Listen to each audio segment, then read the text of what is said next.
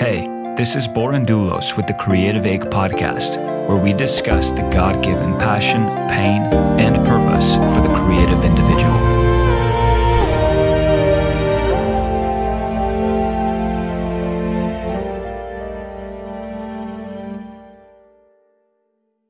Hello, and welcome to the Creative Ache podcast. I am your host, Borin, and I am a multi instrumentalist, singer, songwriter, and composer as well as a musical intercessor at the International House of Prayer in Kansas City, Missouri.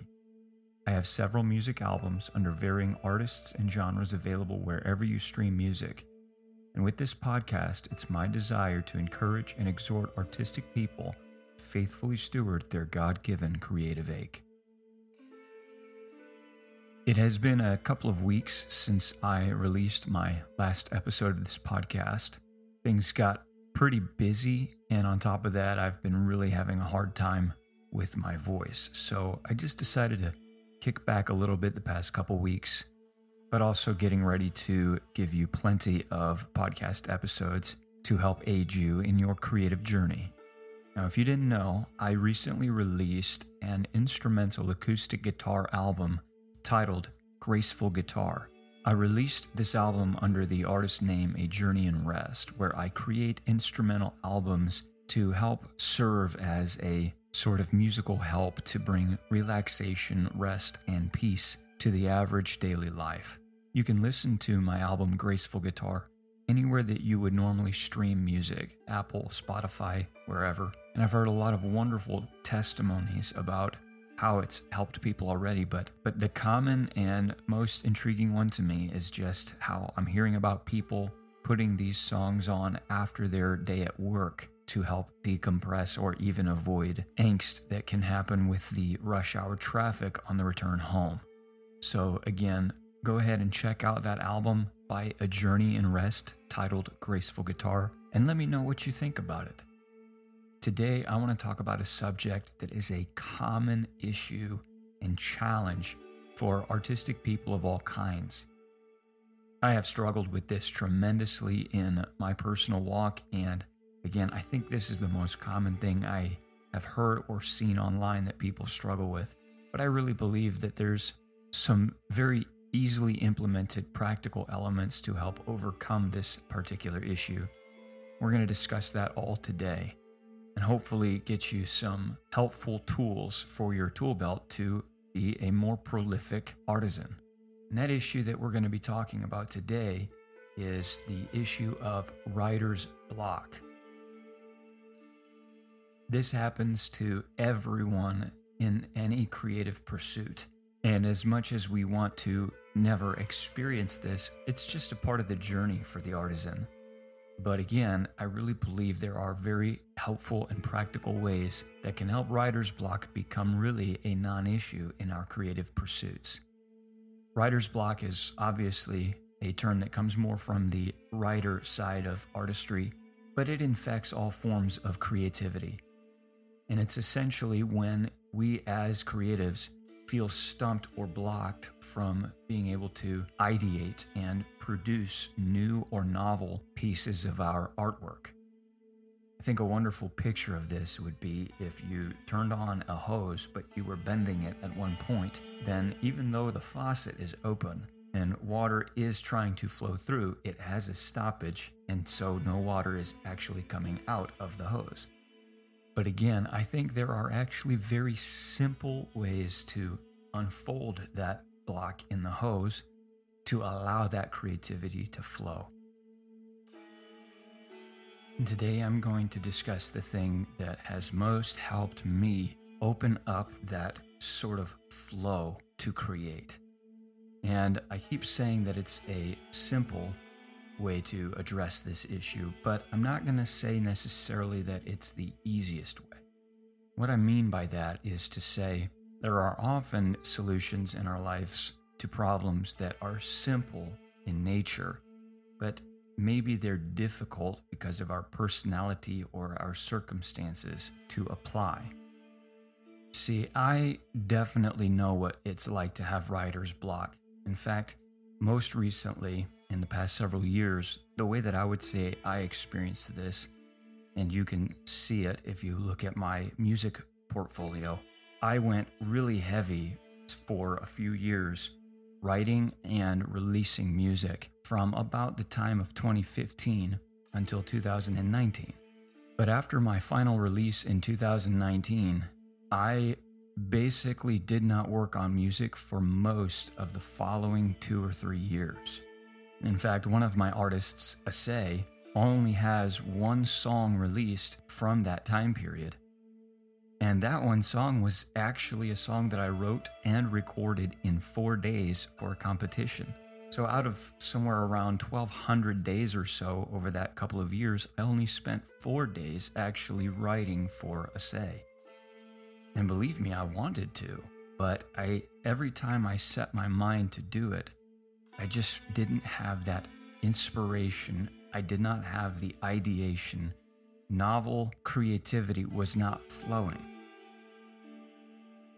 But I shifted something pretty dramatically around the time of August in 2022, so about nine months ago.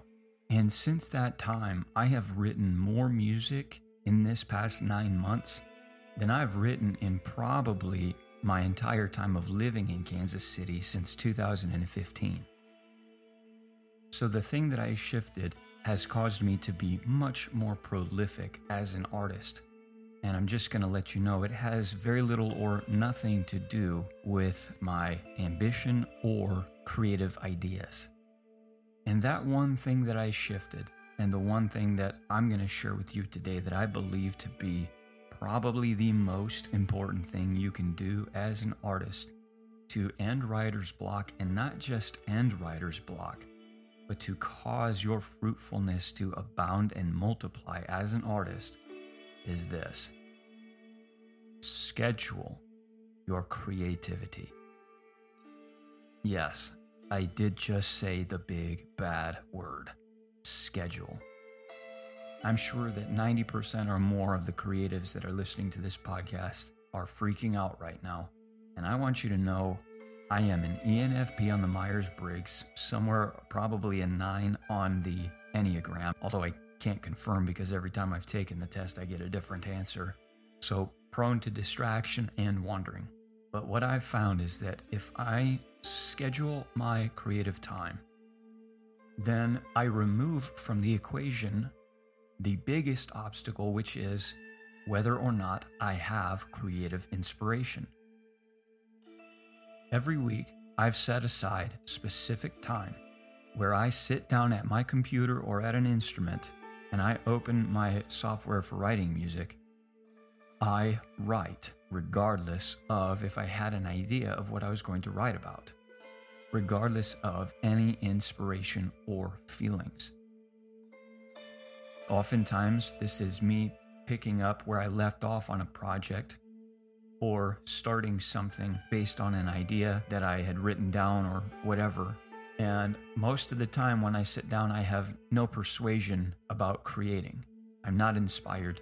I don't feel like doing it.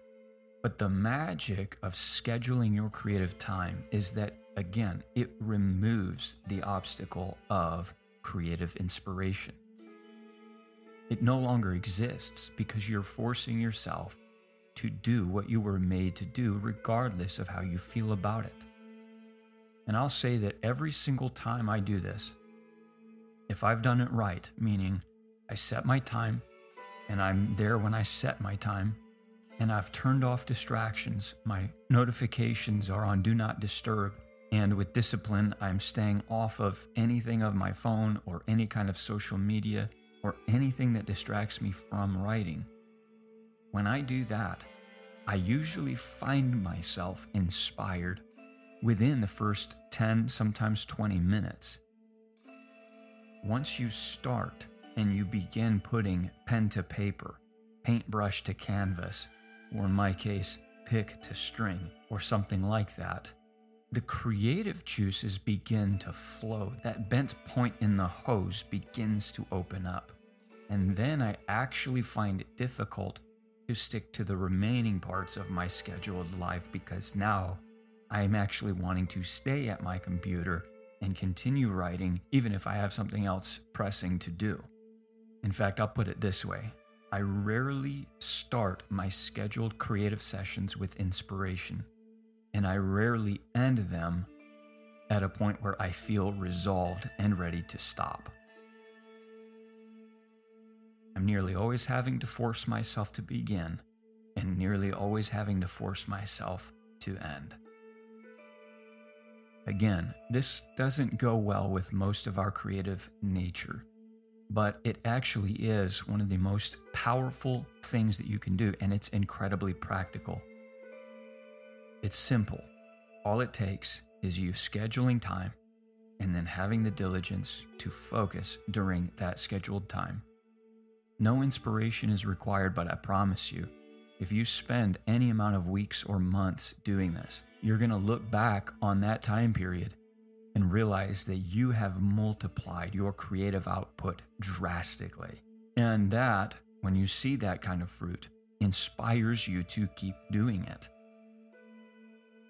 One of the challenges I faced in doing this is that sometimes life gets in the way, and I've actually had times where I am not able to get to that scheduled time and then maybe I get behind and life gets hectic and I start having kind of a compromised schedule, so to speak.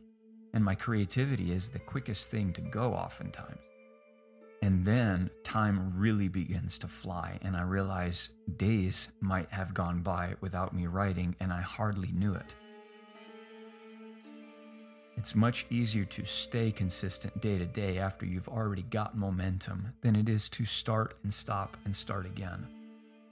The starting and the adjusting is the hard part, but once you're in that mode day after day, you really begin to see a multiple fold increase of your creative output.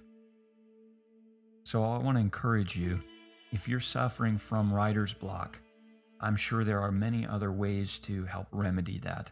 But from my experience as a creative person who's been struggling with this for 20 years now, I can 100% say that the biggest thing that I changed in my life that has made the most impact on my creative output and overcoming writer's block is to schedule my creativity and be diligent about that scheduled time.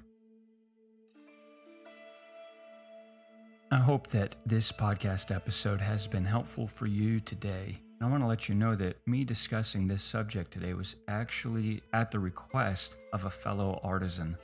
And so I want to let you know that though I have plenty of content subjects planned out for the future, I want to hear from you. I want to know what you would like to hear discussed on this podcast.